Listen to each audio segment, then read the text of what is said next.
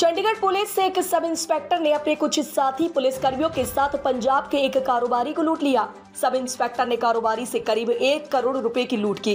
फ़िलहाल लूट के मुख्य आरोपी सब इंस्पेक्टर को चंडीगढ़ पुलिस से बर्खास्त कर दिया गया है। इसके साथ ही एक करोड़ में पिचहत्तर लाख रुपए की बरामदगी भी कर ली गई है। चंडीगढ़ की एसएसपी कंवरदीप कौर ने रविवार को प्रेस कॉन्फ्रेंस कर यह जानकारी दी है। हालाँकि एसएसपी ने बताया कि अब तक इस लूटकांड में सब इंस्पेक्टर और अन्य किसी की भी गिरफ्तारी नहीं की जा सकी है।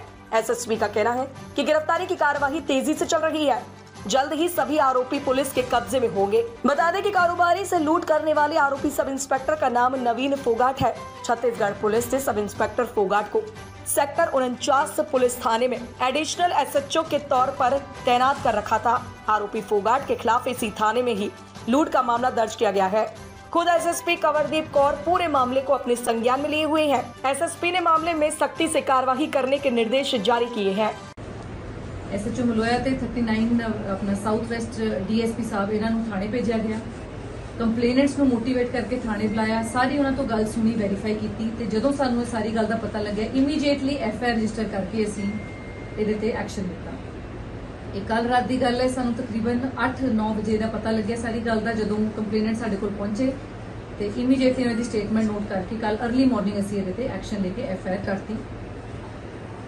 ਜਿਹੜੇ ਕੰਪਲੇਨੈਂਟ ਇੱਕ ਉਹਨਾਂ ਦੇ ਦੋਸਤ ਹੈਪੀ ਕਰਕੇ ਜਿਹੜਾ ਬੰਦਾ ਹੈ, ਉਹ ਸਾਰੇ ਕੈਸ਼ ਜਿਹੜਾ ਉਹਨੇ ਵਾਪਸ ਵੀ ਕੀਤਾ ਕੁਝ ਕੈਸ਼ ਅਮਾਉਂਟ ਉਹ ਲੈ ਕੇ ਬਠਿੰਡੇ ਚਲੇ ਗਏ ਸੀ। ਉਹਨਾਂ ਨੂੰ ਵੀ ਮੋਟੀਵੇਟ ਕਰਕੇ ਵਾਪਸ ਬੁਲਾਇਆ ਗਿਆ। ਉਹਨਾਂ ਨੂੰ ਅਸ਼ੋਰੈਂਸ ਦਿੱਤੀ ਗਈ ਕਿ ਪੁਲਿਸ ਬਿਲਕੁਲ ਫੇਅਰਲੀ ਇਸ ਕੇਸ ਨੂੰ ਇਨਵੈਸਟੀਗੇਟ ਕਰੇਗੀ, ਜੋ ਕਿ ਉਹਨਾਂ ਨੇ ਆ ਕੇ ਵਾਪਸ ਇਹ ਕੈਸ਼ ਜਿਹੜਾ ਨਵੀਨ ਤੋਂ ਉਹਨਾਂ ਨੇ ਲਿਆ ਸੀ, ਸਾਨੂੰ ਦਿੱਤਾ ਉਹ ਸਾਰਾ 75 ਲੱਖ ਦਾ ਅਮਾਉਂਟ ਕੇਸ 'ਚ ਫਾਰਮਲੀ ਅਸੀਂ ਸੀਜ਼ ਕੀਤਾ ਰਿਕਵਰ ਕੀਤਾ ਹੈ ਤੇ ਪ੍ਰੋਪਰ ਕੋਰਟ ਦੀ ਕਾਰਵਾਈ ਤੋਂ ਬਾਅਦ ਕੰਪਲੇਨੈਂਟਸ ਨੂੰ ਵਾਪਸ ਕੀਤਾ ਜਾਏਗਾ। ਇਹਦੀ ਇਨਫੋਰਮੇਸ਼ਨ ਮਿਲਣ ਤੇ ਐਫ ਆਰ ਨੰਬਰ 140 ਬਟਾ 23 365 386 420 506 120 ਵਿੱਚ ਰਜਿਸਟਰ ਕੀਤੀ ਗਈ ਹੈ। ਜਿਹੜੇ ਐਸਆਈ ਨਵੀਨ ਹੋਰ ਜਿਹੜੇ ਬੰਦੇ ਇਹਨਾਂ ਚ ਜਿਨ੍ਹਾਂ ਦੇ ਨਾਮ ਆਏ ਆ, ਸਰਵੇਸ਼, ਜਤਿੰਦਰ, ਅੰਕਿਤ ਗਿੱਲ ਨਵੀਨ ਦੇ ਨਾਲ ਦੋ ਅਣਪਛਾਤੇ ਹੋਰ ਬੰਦੇ, ਉਹ ਪੁਲਿਸ ਦੇ ਆ ਕਿ ਨਹੀਂ ਆ, ਉਹ ਹਾਲੇ ਅਸੀਂ ਵੈਰੀਫਾਈ ਕਰ ਰਹੇ ਹਾਂ, ਕਿਉਂਕਿ ਕੰਪਲੇਨੈਂਟਸ ਨੂੰ ਸਾਰੇ ਹੋਰ ਵੀ ਮੁਲਾਜ਼ਮਾਂ ਦੀ ਫੋਟੋਆਂ ਦਿਖਾਈਆਂ ਗਈਆਂ ਜੋ ਕਿਸੇ ਨੇ ਉਹਨਾਂ ਨੇ ਆਇਡੈਂਟੀਫਾਈ ਨਹੀਂ ਕੀਤੇ। ਐਰੋਸਿਟੀ ਤੋਂ ਦੋ ਹੋਰ ਅਣਪਛਾਤੇ ਬੰਦੇ ਆਏ ਸੀ, ਸਾਰਿਆਂ ਦੇ ਖਿਲਾਫ ਇਹ ਐਫਆਈਆਰ ਦਰਜ ਕੀਤੀ ਹੈ। ਜਿਨੇ ਸਾਨੂੰ ਆਇਡੈਂਟੀਫਾਈ ਹੋਏ, ਸਾਰੇ ਐਬਸਕੌਂਡਿੰਗ ਅੱਜ ਦੀ ਡੇਟ 'ਚ ਤੇ ਉਹਨਾਂ ਨੂੰ ਫੜਨ ਦੀ ਪੂਰੀ ਕੋਸ਼ਿਸ਼ ਕੀਤੀ ਜਾ ਰਹੀ ਹੈ। ਅਲੱਗ-ਅਲੱਗ ਟੀਮਾਂ ਸਾਡੀਆਂ ਉਹਨਾਂ ਨੂੰ ਫੜਨ ਤੇ ਲੱਗੀਆਂ ਹੋਈਆਂ ਕੈਸ਼ ਜਿਹੜਾ ਮੈਕਸਿਮਮ ਅਮਾਉਂਟ ਜਿਹੜਾ ਰਿਕਵਰ ਕਰ ਲਿੱਤਾ ਗਿਆ ਇਹਦੇ 'ਚ ਜਿਹੜੇ ਸਬ ਇੰਸਪੈਕਟਰ ਆਪਣਾ ਨਵੀਨ ਫੁਗਾਟ ਹੈ, ਇਹਨਾਂ ਨੂੰ ਕਿਉਂਕਿ ਸਭ ਤੋਂ ਪਹਿਲੇ ਤਾਂ ਇੱਕ ਤਾਂ ਐਕਸਟੋਰਸ਼ਨ ਤੇ ਇੰਟੀਮੀਡੇਸ਼ਨ ਕੀਤੀ ਗਈ ਝੂਠੀ ਐਫਆਰ ਦੇ ਡਰ ਨਾਲ। ਉਸ ਤੋਂ ਬਾਅਦ ਜਦੋਂ ਕੰਪਲੇਨੈਂਟ ਦੁਆਰਾ ਥਾਣੇ ਆਏ ਕੰਪਲੀਟ ਕਰਨ ਤੇ ਉਹਨਾਂ ਨੇ ਅਪਰੋਚ ਕਰਨ ਦੀ ਕੋਸ਼ਿਸ਼ ਕੀਤੀ, ਦੁਆਰਾ ਉਹਨਾਂ ਨੂੰ ਇਨਫਲੂਐਂਸ ਕਰਕੇ ਉਹਨਾਂ ਨੂੰ ਫੇਰ ਉਹਨਾਂ ਨੂੰ ਡਰਾ ਧਮਕਾ ਕੇ ਦੁਆਰਾ ਭੇਜਿਆ ਗਿਆ।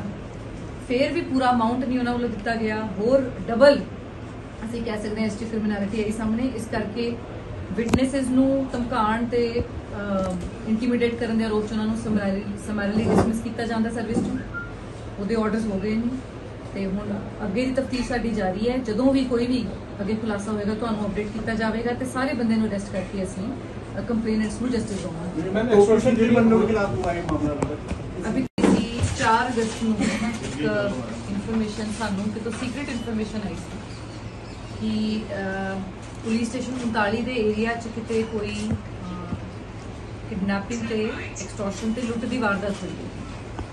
ਉਹਦੇ ਚਲੇ ਕੋਈ ਇਨਫੋਰਮੇਸ਼ਨ ਨਹੀਂ ਸੀ, ਸਾਨੂੰ ਕਿਹਨੇ ਕੀਤੀ ਹੈ, ਕੌਣ ਕੰਪਲੇਨੈਂਟ ਹੈ, ਸਿਰਫ ਇੱਕ ਇਨਫੋਰਮੇਸ਼ਨ ਆਈ ਸੀ, ਜਿਹਨੂੰ ਅਸੀਂ ਵੈਰੀਫਾਈ ਕਰ ਰਹੇ ਸੀ। ਸਾਡੇ ਕੋਲ ਕੋਈ 112 ਦੀ ਕਾਲ ਨਹੀਂ ਆਈ, ਕੋਈ ਫਾਰਮਲ ਕੰਪਲੇਂਟ ਨਹੀਂ ਆਈ ਇਸ ਰਿਗਾਰਡਿੰਗ 4 ਤਰੀਕ ਨੂੰ ਸ਼ਾਮ ਨੂੰ। ਅਗਲੇ ਦਿਨ ਵੀ ਅਸੀਂ ਵੈਰੀਫਾਈ ਕਰਦੇ ਰਹੇ। 5 ਤਰੀਕ ਨੂੰ ਸ਼ਾਮ ਨੂੰ ਸਾਨੂੰ ਫੇਰ ਸੀਨੀਅਰ ਆਫੀਸਰਸ ਨੂੰ ਇਨਫੋਰਮੇਸ਼ਨ ਆਈ ਕਿ ਇਸ ਤਰ੍ਹਾਂ ਦੀ ਕੋਈ ਇਨਸੀਡੈਂਟ ਹੋਇਆ। ਉਦੋਂ ਜਿਹੜੇ ਕੰਪਲੇਨੈਂਟਸ ਹੈ ਉਹਨਾਂ ਨੂੰ ਮੋਟੀਵੇਟ ਕੀਤਾ ਗਿਆ ਕਿ ਤੁਸੀਂ ਆਪਣਾ ਵਿਸ਼ਵਾਸ ਰੱਖ ਕੇ, ਪੁਲਿਸ ਵਿਸ਼ਵਾਸ ਰੱਖ ਕੇ ਤੁਸੀਂ ਆਓ ਕੰਪਲੇਂਟ ਦਿਓ ਆਪਣੀ ਤੇ ਅਸੀਂ ਉਹਦੇ ਤੇ ਕਾਰਵਾਈ ਇਨਸ਼ੋਰ ਕਰਾਂਗੇ। ਕੰਪਲੇਨੈਂਟ ਦਾ ਨਾਮ ਹੈ ਸੰਜੇ ਗੋਇਲ, ਗਣੇਸ਼ ਨਗਰ ਬਠਿੰਡਾ ਦੇ ਰਹਿਣ ਵਾਲੇ ਹੈ। ਇਹ 5 ਤਰੀਕ ਨੂੰ ਸ਼ਾਮ ਨੂੰ ਸਾਡੇ ਕੋਲ ਆਉਂਦੇ ਹਨ ਤੇ ਇਹਨਾਂ ਨੇ ਆਪਣੀ ਸਟੇਟਮੈਂਟ 'ਚ ਦੱਸਿਆ ਕਿ 4 ਤਰੀਕ ਨੂੰ ਇਹ ਤਕਰੀਬਨ 1 ਕਰੋੜ 1 ਲੱਖ ਦਾ ਅਮਾਉਂਟ ਸੀ ਇਹਨਾਂ ਕੋਲ। ਇਹ ਚੰਡੀਗੜ੍ਹ ਕਿਸੇ ਆਪਣੇ ਕੰਮਕਾਜ ਦੇ ਸਿਲਸਿਲੇ 'ਚ ਅਮਾਉਂਟ ਲੈ ਕੇ ਆ ਰਹੇ ਸੀ। ਇੱਕ ਸਰਵੇਸ਼ ਦਾਮ ਦੇ ਬੰਦੇ ਨਾਲ ਇਹਨਾਂ ਦੀ ਗੱਲ ਹੋਈ, ਜਿਨੇ ਇਹਨਾਂ ਦੀ ਕਰੰਸੀ ਐਕਸਚੇਂਜ ਦਾ ਕੁਝ ਕੰਮ ਸੀ, ਉਹਨੇ ਕਰਕੇ ਦੇਣੀ ਸੀ। ਸਰਵੇਸ਼ ਨੇ ਅੱਗੇ ਇੱਕ ਜਤਿੰਦਰ ਨਾਮ ਦੇ ਬੰਦੇ ਨਾਲ ਇਹਨਾਂ ਦਾ ਰਾਬਤਾ ਕਰਾਇਆ, ਜੋ ਐਰੋ ਸਿਟੀ ਮੋਹਾਲੀ 'ਚ ਜਿਹਦੀ ਇੱਕ ਟਰੈਵਲ ਏਜੰਸੀ ਕੋਈ ਇਸ ਤਰ੍ਹਾਂ ਦੀ ਇਮੀਗ੍ਰੇਸ਼ਨ ਕੰਪਨੀ ਚੱਲ ਰਹੀ ਹੈ। ਜਤਿੰਦਰ ਕੋਲੇ ਪਹਿਲੇ ਜਾਂਦੇ ਆ ਸੰਜੇ ਗੋਇਲ ਬੰਦਾ ਡਰਾਈਵਰ ਬਠਿੰਡੇ ਤੋਂ ਚੱਲ ਕੇ ਆਉਂਦਾ ਪਹਿਲੇ ਜਤਿੰਦਰ ਗੋਇਲ, ਜਤਿੰਦਰ ਕੋਲ ਇਹ ਆਪਣਾ ਐਰੋ ਸਿਟੀ ਜਾਂਦੇ ਆ ਐਰੋ ਸਿਟੀ ਤੋਂ ਜਤਿੰਦਰ ਤੇ ਦੋ ਅਣਪਛਾਤੇ ਬੰਦੇ ਮਰਸੀਡੀਜ਼ 'ਚ, ਉੱਥੋਂ ਇਹਨੂੰ ਲੈ ਕੇ 40 ਸੈਕਟਰ ਦੀ ਮਾਰਕੀਟ ਲੈ ਉੱਥੇ ਆ ਕੇ ਇੱਕ ਤੀਜਾ ਬੰਦਾ ਇਹਨਾਂ ਨੂੰ ਫੇਰ ਮਿਲਦਾ ਹੈ, ਉਹਨਾਂ ਉਹਦਾ ਨਾਮ ਹਲੇ ਤੱਕ ਗਿਲ ਗਿਲ, ਅੰਕਿਤ ਗਿਲ ਕਰਕੇ ਹਲੇ ਤੱਕ ਆਇਡੈਂਟੀਫਾਈ ਹੋਇਆ। ਹਲੇ ਹੋਰ ਕਰ ਰਹੇ ਆ, ਜਿਹੜੇ ਕੰਪਲੇਨੈਂਟਸ ਨੇ ਜੋ ਜੋ ਦੱਸਿਆ ਹਲੇ ਤੱਕ। ਇਹ ਤਿੰਨੋਂ ਬੰਦਿਆਂ ਨੇ ਉਹਨਾਂ ਨਾਲ ਆ ਕੇ ਗੱਲਬਾਤ ਕੀਤੀ, ਆਪਣਾ ਉਹਨਾਂ ਦੀ ਗੱਡੀ 'ਚ ਆ ਕੇ ਬੈਠੀ ਸੈਕਟਰ 40 ਦੀ ਮਾਰਕੀਟ 'ਚ। ਇਹਨਾਂ ਦੀ ਗੱਲਬਾਤ ਹੋਈ, ਪੈਸੇ ਦਾ ਦੇਖਿਆ ਇਹਨਾਂ ਨੇ ਕਿ ਅਮਾਉਂਟ ਸਾਰਾ ਪੂਰਾ ਹੈ। ਉਹਨਾਂ ਤੋਂ ਕਨਫਰਮੇਸ਼ਨ ਲਿੱਤੀ 5-500 ਦੇ ਨੋਟ ਜਿਵੇਂ ਕਿ ਤੁਸੀਂ ਦੇਖਿਆ, ਇਹਨਾਂ ਤੋਂ ਕਨਫਰਮ ਕਰਕੇ ਇਹ ਕਹਿੰਦੇ ਕਿ ਦੂਜੀ ਪਾਰਟੀ ਆਉਣ ਵਾਲੀ ਹੈ ਤੇ ਤੁਸੀਂ ਵੇਟ ਕਰੋ। ਵੇਟ ਕਰਨ ਤੋਂ ਬਾਅਦ ਥੋੜੀ ਦੇਰ ਬਾਅਦ ਹੀ ਇੱਕ ਕੰਪਲੇਨੈਂਟ ਦਾ ਕਹਿਣਾ ਹੈ ਕਿ ਤਿੰਨ ਬੰਦੇ ਉੱਥੇ ਆਉਂਦੇ ਆ ਜਿਨ੍ਹਾਂ ਚੋਂ ਇੱਕ ਵਰਦੀਧਾਰੀ ਬੰਦਾ ਸੀ, ਬਾਕੀ ਦੋ ਬੰਦੇ ਸਿਵਲ ਡਰੈਸਡ ਸੀ। ਇਹਨਾਂ ਦੀ ਗੱਡੀ ਤੇ ਆ ਕੇ ਨੌਕ ਕਰਦੇ ਆ ਉਹਦੀ ਸਰਚ ਹੁੰਦੀ ਹੈ ਸਰਚ 'ਚ ਭਾਰੀ ਮਾਤਰਾ ਵਿੱਚ ਕੈਸ਼ ਜਿਹੜਾ ਬਰਾਮਦ ਹੁੰਦਾ ਹੈ। ਜਤਿੰਦਰ ਤੇ ਗਿੱਲ, ਜਿਹੜੇ ਦੋ ਐਂਟੀਜ਼ ਹੈ, ਉੱਥੋਂ ਹੀ ਭੱਜ ਜਾਂਦੇ ਆ ਜਦੋਂ ਹੀ ਪੁਲਿਸ ਪਹੁੰਚਦੀ ਹੈ, ਉਹ ਦੋਨੋਂ ਉੱਥੋਂ ਐਸਕੌਰਡਿੰਗ ਹੋ ਜਾਂਦੇ ਆ ਤੇ ਜਿਹੜੀ ਇੱਕ ਮਰਸੀਡੀਜ਼ ਕਾਰ 'ਚ ਦੋ ਅਣਪਛਾਤੇ ਬੰਦੇ ਸੀ, ਉਹ ਵੀ ਮੌਕੇ ਤੋਂ ਭੱਜ ਗਏ। ਸਿਰਫ ਸਾਡੇ ਕੰਪਲੇਨੈਂਟ ਉਹਨਾਂ ਦੇ ਡਰਾਈਵਰ ਤੇ ਕੈਸ਼ ਉੱਥੇ ਰਹਿ ਗਿਆ। ਉਸ ਤੋਂ ਬਾਅਦ ਤਿੰਨ ਬੰਦੇ ਜਿਹੜੇ, ਜਿਨ੍ਹਾਂ ਚੋਂ ਦੋ ਪੁਲਿਸ, ਇੱਕ ਪੁਲਿਸ ਮੁਲਾਜ਼ਮ ਸ਼ਨਾਖਤ ਹੋਇਆ, ਹਲੇ ਦੋ ਦਾ ਪਤਾ ਲੱਗ ਰਿਹਾ। ਉਹ ਸਾਰੇ ਇਹਨਾਂ ਨੂੰ ਉੱਥੋਂ ਮੌਕੇ ਤੋਂ ਲਿਜਾ ਕੇ ਇਹਨਾਂ ਤੋਂ ਪੈਸੇ ਆਪਣੇ ਸਾਰੇ ਐਕਸਟੋਰਟ ਕਰਦੇ ਆ। 1 ਕਰੋੜ 1 ਲੱਖ ਦਾ ਅਕਾਊਂਟ ਅਮਾਉਂਟ ਉਹਨਾਂ ਤੋਂ ਐਕਸਟੋਰਟ ਕਰਦੇ ਆ। ਉਹਨਾਂ ਨੂੰ ਥ੍ਰੈਟਨ ਕਰਦੇ ਆ ਕਿ ਜੇ ਤੁਸੀਂ, ਅਸੀਂ ਤੁਹਾਡੇ ਤੇ ਕੋਈ ਐਫ ਆਈ ਆਰ ਕਰ ਦਾਂਗੇ, ਜੇ ਤੁਸੀਂ ਕਿਸੇ ਨੂੰ ਦੱਸਿਆ ਤਾਂ ਫਾਲਸ ਐਫ ਆਈ ਆਰ ਕਰ ਦਾਂਗੇ ਤੁਹਾਡੇ ਤੇ। ਉਹਨਾਂ ਨੂੰ ਹੋਰ ਕਾਫੀ ਤਰ੍ਹਾਂ ਨਾਲ ਥ੍ਰੈਟਨ ਕਰਨ ਦੀ ਕੋਸ਼ਿਸ਼ ਕੀਤੀ ਗਈ ਇਹਨਾਂ ਤੋਂ। ਅਮਾਉਂਟ ਆਪਣੇ ਕੋਲ ਰੱਖ ਕੇ ਇਹਨਾਂ ਕੰਪਲੇਨੈਂਟਸ ਨੂੰ ਥ੍ਰੈਟਨ ਕਰਕੇ ਉਹਨਾਂ ਨੇ ਉੱਥੋਂ ਭੇਜਤਾ। ਜਦੋਂ ਇਹ ਕੰਪਲੇਨੈਂਟਸ ਉੱਥੋਂ ਚਲੇ ਗਏ ਇਮੀਡੀਏਟਲੀ ਚੰਡੀਗੜ੍ਹ ਤੋਂ ਜਾ ਕੇ ਆਪਣਾ ਵਾਇਆ ਸੰਗਰੂਰ ਬਠਿੰਡਾ ਚਲੇ ਗਏ, ਬਿਨਾਂ ਕੋਈ 112 ਦੀ ਕਾਲ ਕੀਤੇ ਤੇ ਕੋਈ ਕੰਪਲੇਂਟ ਇਸ ਕਰਕੇ 4 ਤਰੀਕ ਨੂੰ ਪੁਲਿਸ ਵੱਲੋਂ ਇਸ ਬਾਰੇ ਇਨਫੋਰਮੇਸ਼ਨ ਨਹੀਂ ਆਈ। ਸਾਨੂੰ ਕਿਤੇ ਸੋਰਸਸ ਤੋਂ ਜ਼ਰੂਰ ਇਹਦੇ ਬਾਰੇ ਪਤਾ ਚੱਲਿਆ। 5 ਤਰੀਕ ਨੂੰ, ਜਿਹੜੀ ਕਿ ਕੱਲ ਦੀ ਗੱਲ ਹੈ 5 ਤਰੀਕ ਨੂੰ ਦੁਆਰਾ ਜਿਹੜੇ ਕੰਪਲੇਨੈਂਟਸ ਹੈ, ਉਹ ਦੁਆਰਾ ਚੰਡੀਗੜ੍ਹ ਆਏ। ਇਸ ਉਮੀਦ 'ਚ ਕਿ ਉਹ ਕਿਸੇ ਨੂੰ ਆਪਣੀ ਕੰਪਲੇਂਟ ਬਾਰੇ ਦੱਸਣਗੇ। ਪਹਿਲੇ ਉਹ ਮੋਹਾਲੀ ਗਏ, ਉਸ ਤੋਂ ਬਾਅਦ ਚੰਡੀਗੜ੍ਹ ਆਏ। ਚੰਡੀਗੜ੍ਹ ਆਉਣ ਤੋਂ ਬਾਅਦ ਕੰਪਲੇਨੈਂਟਸ ਨੂੰ ਇੱਕ ਪੁਲਿਸ ਦਾ ਸਬ ਇੰਸਪੈਕਟਰ, ਜਿਹਦਾ ਨਾਮ ਨਵੀਨ ਫੁਗਾਟ ਹੈ, ਥਾਣੇ ਤੋਂ ਕੁਝ ਹੀ ਦੂਰੀ ਤੇ ਉਹਨਾਂ ਨੂੰ ਮਿਲਿਆ। ਉਹਨਾਂ ਨੇ ਪਛਾਣ ਲਿਆ ਕਿ ਇਹੀ ਬੰਦਾ ਸੀ ਜਿਹੜਾ ਸਾਨੂੰ ਕੱਲ ਮਿਲਿਆ। ਉਸ ਪੁਲਿਸ ਦੇ ਸਬ ਇੰਸਪੈਕਟਰ ਨੇ ਇਹਨਾਂ ਨੂੰ ਪਛਾਣ ਲਿਆ, ਆਪਸ ਵਿੱਚ ਉਹਨਾਂ ਦੀ ਪਛਾਣ ਹੋ ਗਈ। ਪੁਲਿਸ ਸਬ ਇੰਸਪੈਕਟਰ ਉਹਨਾਂ ਨੂੰ ਪਹਿਲੇ ਤਾਂ ਆਪਣੇ ਕਮਰੇ 'ਚ ਲੈ ਕੇ ਆਇਆ ਥਾਣੇ 'ਚ। ਇਮੀਡੀਏਟਲੀ ਜਦੋਂ ਉਹਨੂੰ ਰਿਅਲਾਈਜ਼ ਹੋਇਆ ਕਿ ਮੈਂ ਫਸ ਜਾਗਾ ਇਸ ਗੱਲ 'ਚ, ਉਹ ਉਹਨਾਂ ਨੂੰ ਥਾਣੇ ਤੋਂ ਬਾਹਰ ਲੈ ਗਿਆ। ਥਾਣੇ 'ਚ ਹੋਰ ਕਿਸੇ ਨੂੰ ਇਸ ਗੱਲ ਦਾ ਪਤਾ ਨਹੀਂ ਲੱਗਿਆ ਕਿ ਕਿਹੜੇ ਕੰਪਲੇਨੈਂਟ ਆਏ ਸੀ, ਕਿਹੜੇ ਉੱਥੋਂ ਚਲੇ ਗਏ। ਸਬ ਇੰਸਪੈਕਟਰ ਨਵੀਨ ਉਹਨਾਂ ਨੂੰ ਦੁਬਾਰਾ ਉੱਥੋਂ ਲੈ ਜਾਂਦਾ ਹੈ। ਉਹਨਾਂ 'ਚੋਂ ਇੱਕ ਬੰਦੇ ਨੂੰ ਆਪਣੀ ਗੱਡੀ 'ਚ ਬਿਠਾਉਂਦਾ ਹੈ ਤੇ ਬਾਕੀਆਂ ਨੂੰ ਕਹਿੰਦਾ, ਮੈਨੂੰ ਫੋਲੋ ਕਰੋ। ਆਪਣੇ ਨਾਲ ਉਹਨਾਂ ਨੂੰ ਗੱਡੀ 'ਚ ਲਿਜਾ ਕੇ ਕਾਫੀ ਦੇਰ ਇੱਧਰ ਉੱਧਰ ਉਹ ਉਹਨੂੰ ਘੁਮਾਉਂਦਾ ਹੈ ਤੇ ਦੋਨਾਂ ਆਪਸ 'ਚ ਫੇਰ ਗੱਲ ਹੁੰਦੀ ਹੈ। ਇਹ ਕਹਿੰਦੇ ਅਸੀਂ ਕੰਪਲੇਂਟ ਕਰਾਂਗੇ, ਉਹ ਇਹਨਾਂ ਨੂੰ ਕੋਰਸ ਕਰਦਾ ਵੀ ਤੁਸੀਂ ਕੰਪਲੇਂਟ ਨਾ ਕਰੋ, ਫਿਰ ਥ੍ਰੈਟਨ ਤੇ ਇੰਟੀਮੀਡੇਟ ਕਰਨ ਦੀ ਕੋਸ਼ਿਸ਼ ਕੀਤੀ।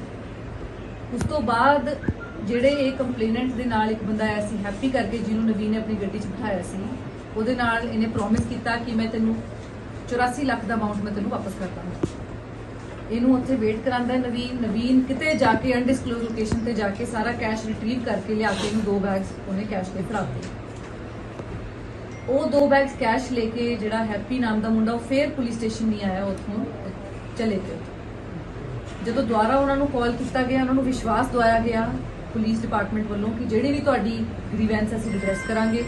ਕੰਪਲੇਨੈਂਟਸ ਦੇ ਮਨ 'ਚ ਨੈਚੁਰਲੀ ਬਹੁਤ ਡਰ ਸੀ ਕਿਉਂਕਿ ਐਸਆਈ ਨਵੀਨ ਨੇ ਉਹਨਾਂ ਨੂੰ ਪੂਰਾ ਥ੍ਰੈਟਨ ਕੀਤਾ, ਡਰਾਇਆ। ਕੰਪਲੇਨੈਂਟਸ ਦੀ ਵਰਜਨ ਦੇ ਅਕੋਰਡਿੰਗ ਝੂਠੀ ਐਫਆਈਆਰ 'ਚ ਫਸਾਉਣ ਦੀ ਉਹਨਾਂ ਤੇ ਪੂਰਾ ਥ੍ਰੈਟਨ ਕੀਤਾ। ਇਸ ਕਰਕੇ ਪੁਲਿਸ ਸਟੇਸ਼ਨ ਆਉਣ ਤੋਂ ਵੀ ਉਹ ਡਰੇ। ਬਟ ਜਦੋਂ uh, ਸੀਨੀਅਰ ਆਫੀਸਰ ਦੀ ਇੰਟਰਵੈਂਸ਼ਨ ਨਾਲ ਜਦੋਂ ਸਾਨੂੰ ਇਨਫੋਰਮੇਸ਼ਨ ਮਿਲੀ, ਮੈਂ ਡੀਐਸਪੀ ਸਾਊਥ ਵੈਸਟ ਤੇ ਐਸਐਚਓ ਮਲੋਆ ਐਸਐਚਓ 39 ਕਿਉਂਕਿ ਮੈਡੀਕਲ ਰਸਤੇ ਹੈ ਐਸਐਚਓ ਮਲੋਆ ਕੋਲ ਚਾਰਜ ਹੈ ਪਰਸੋਂ ਤੋਂ ਹੀ। ਐਸਐਚਓ ਮਲੋਆ ਤੇ 39 uh, ਆਪਣਾ ਸਾਊਥ ਵੈਸਟ ਡੀਐਸਪੀ ਸਾਹਿਬ ਇਹਨਾਂ ਨੂੰ ਥਾਣੇ ਭੇਜਿਆ ਗਿਆ। ਕੰਪਲੇਨੈਂਟਸ ਨੂੰ ਮੋਟੀਵੇਟ ਕਰਕੇ ਥਾਣੇ ਬੁਲਾਇਆ। ਸਾਰੀ ਉਹਨਾਂ ਤੋਂ ਗੱਲ ਸੁਣੀ ਵੈਰੀਫਾਈ ਕੀਤੀ ਤੇ ਜਦੋਂ ਸਾਨੂੰ ਇਹ ਸਾਰੀ ਗੱਲ ਦਾ ਪਤਾ ਲੱਗਿਆ ਇਮੀਡੀਏਟਲੀ ਐਫਆਈਆਰ ਰਜਿਸਟਰ ਕਰਕੇ ਅਸੀਂ ਇਹਦੇ ਤੇ ਐਕਸ਼ਨ ਲਿੱਤਾ। ਇਹ ਕੱਲ ਰਾਤ ਦੀ ਗੱਲ ਹੈ, ਸਾਨੂੰ ਤਕਰੀਬਨ 8-9 ਵਜੇ ਦਾ ਪਤਾ ਲੱਗਿਆ ਸਾਰੀ ਗੱਲ ਦਾ, ਜਦੋਂ ਕੰਪਲੇਨੈਂਟ ਸਾਡੇ ਕੋਲ ਪਹੁੰਚੇ ਤੇ ਇਮੀਡੀਏਟਲੀ ਇਹਨਾਂ ਦੀ ਸਟੇਟਮੈਂਟ ਨੋਟ ਕਰਕੇ ਕੱਲ अर्ਲੀ ਮਾਰਨਿੰਗ ਅਸੀਂ ਇਹਦੇ ਤੇ ਐਕਸ਼ਨ ਲੈ ਕੇ ਐਫ ਆਈ ਆਰ ਕਰਤੀ। ਜਿਹੜੇ ਕੰਪਲੇਨੈਂਟ ਇੱਕ ਉਹਨਾਂ ਦੇ ਦੋਸਤ ਹੈਪੀ ਕਰਕੇ ਜਿਹੜਾ ਬੰਦਾ ਹੈ, ਉਹ ਸਾਰੇ ਕੈਸ਼ ਜਿਹੜਾ ਉਹਨੇ ਵਾਪਸ ਵੀ ਕੀਤਾ ਕੁਝ ਕੈਸ਼ ਅਮਾਉਂਟ ਉਹ ਲੈ ਕੇ ਬਠਿੰਡੇ ਚਲੇ ਗਏ ਸੀ, ਉਹਨਾਂ ਨੂੰ ਵੀ ਮੋਟੀਵੇਟ ਕਰਕੇ ਵਾਪਸ ਗਰਾਊਂਡ ਜ਼ਰੂਰ ਸੀ ਬਟ ਉਹਨੀ ਕ੍ਰਿਮੀਨਲ ਕੇਸ ਕੋਈ ਪੈਂਡਿੰਗ ਨਹੀਂ ਸੀ। ਜਿਹਨੇ ਤੇ ਕ੍ਰਿਮੀਨਲ ਕੇਸਿਸ ਪੈਂਡਿੰਗ ਹੁੰਦੇ ਆ ਉਹਨਾਂ ਦੀ ਪੁਲਿਸ ਸਟੇਸ਼ਨ ਪੋਸਟਿੰਗ ਨਹੀਂ ਹੁੰਦੀ।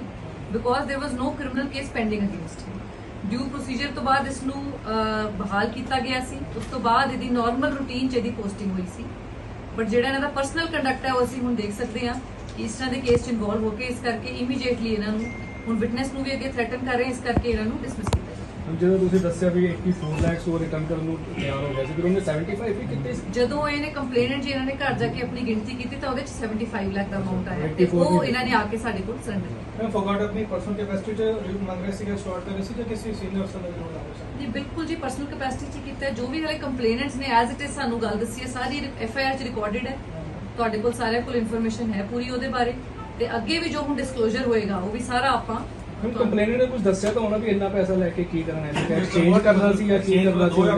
ਦੇ ਹਿਸਾਬ ਨਾਲ ਉਹ ਐਕਸਚੇਂਜ ਹੀ ਕਰਨ ਆਏ ਸੀ ਕਿਸ ਦੀ 500 ਦਾ ਕੰਪਲੇਨੈਂਟ ਕੰਪਲੇਨੈਂਟ ਦੇ ਹਿਸਾਬ ਨਾਲ 500 ਉਹ ਐਕਸਚੇਂਜ ਹੀ ਹੈ ਕਰਨ ਆਏ ਸੀ ਨੋਟ ਤਾਂ 500 ਦਾ ਤਾਂ ਨੋਟ ਹੀ ਚੱਲ ਹੀ ਰਿਹਾ ਉਹ ਤਾਂ ਨਹੀਂ ਹੈ। ਜਿੱਦਾਂ ਮਤਲਬ ਨਹੀਂ ਇਹਨਾਂ ਦੀ ਜੀ ਜ਼ਰੂਰ ਕੋਈ ਨਾ ਕੋਈ ਦੂਜੇ ਬੰਦੇ ਨਾਲ ਡੀਲ ਹੋਈ। ਉਹਦੇ ਲਈ ਤਾਂ ਉਹ ਹੀ ਕਰਨ ਆਏ ਸੀ। ਆਪਣਾ ਪੁਲਿਸ ਦਾ ਕੰਮ ਉੱਥੇ ਸ਼ੁਰੂ ਹੁੰਦਾ ਜਦੋਂ ਇਹਨਾਂ ਦਾ ਪੈਸਾ ਜਿਹੜਾ ਹੈ ਉਹ ਕਿਸੇ ਨੇ ਐਕਸਟੋਰਟ ਕਰਕੇ ਤੁਸੀਂ ਫਿਰ ਲਿਆ। ਇਨਕਮ ਜਿਹੜੀ ਆਪਣੀ ਟੈਕਸ ਇਹਦੇ ਬਾਕੀ ਲੀਗਲ ਕਾਰਵਾਈ ਹੈ ਉਹ ਆਪਣੀ ਅਲੱਗ ਤੌਰ ਤੇ ਹੋਈ। ਇਨਕਮ ਟੈਕਸ ਨੂੰ ਤੁਸੀਂ ਲਿਖੋਗੇ ਉਹ ਨੈਚੁਰਲੀ ਜੀ ਅਲੱਗ-ਅਲੱਗ ਏਜੰਸੀਜ਼ ਇਨਵੋਲਵ ਹੋਣਗੀਆਂ ਜੋ ਵੀ ਇਹਦੇ ਚ ਨਿਕਲੇਗਾ ਉਹਦੇ ਚ ਮੈਮ ਇਸ ਤਰ੍ਹਾਂ ਦੀ Everyone ਚੀਜ਼ਾਂ is. ਪਹਿਲਾਂ ਵੀ ਦੋ ਤਿੰਨ ਕੇਸਿਸ ਇਸੀ ਮਹੀਨੇ ਵਿੱਚ ਹੋ ਚੁੱਕੇ ਹਨ ਤੁਸੀਂ ਕਿਸ ਤਰ੍ਹਾਂ ਉਹ ਇੰਸ਼ੋਰ ਕਰ ਰਹੇ ਹੋ ਜਾਂ ਫਿਰ ਪੁਲਿਸ ਬਰੀਫਿੰਗ Corruption free ਬਣਾਓ। ਕਿਉਂਕਿ ਕਰਪਸ਼ਨ ਫ੍ਰੀ ਨੂੰ ਲੈ ਕੇ ਕਈ ਤਰ੍ਹਾਂ ਦੇ ਇਲਜ਼ਾਮ ਲੱਗ ਚੁੱਕੇ ਨੇ ਦੇਖੋ ਬਰੀਫਿੰਗ ਤਾਂ ਆਪਾਂ ਇਹ ਕਰਦੇ ਆ ਆਪਾਂ ਕਿ ਤੁਸੀਂ ਜਿਹੜੀ ਮਾਰਨਿੰਗ ਬਰੀਫਿੰਗ ਹੁੰਦੀ ਹੈ ਅਸੀਂ ਡਿਊਟੀ ਬਾਰੇ ਬਰੀਫ ਕਰਦੇ ਹਾਂ।